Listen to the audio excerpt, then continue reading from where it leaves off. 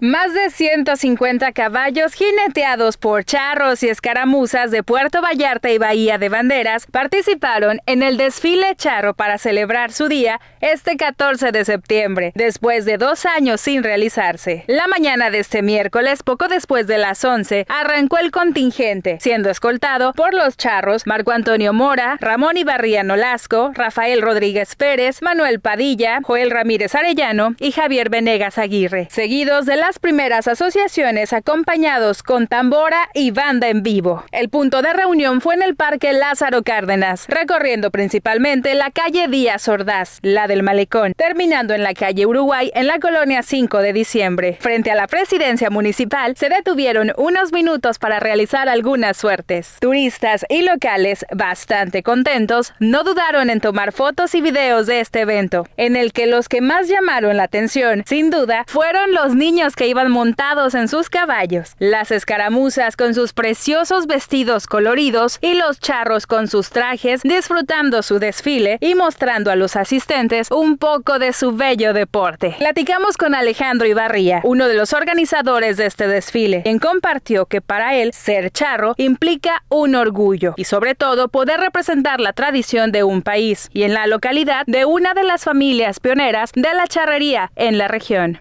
pues un orgullo representar la tradición de, un país, ahora que sí, y aquí en, la localidad de una familia. Ser de una de las familias es un orgullo de las familias pioneras de la charrería en esta región, es un orgullo.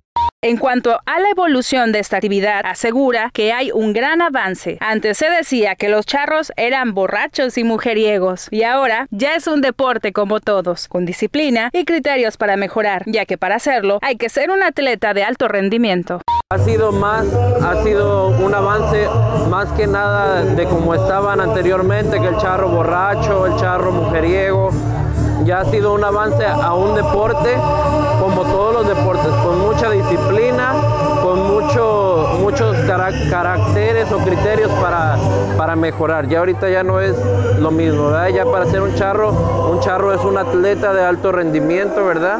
Que cumple con la mayor por los estatutos que nos rigen, ¿verdad? También invitó a la comunidad a que siga más de cerca este deporte y sobre todo conozcan más de sus tradiciones. Con imágenes de Itzia Rodríguez para CPS Noticias, Fernanda Bujorques.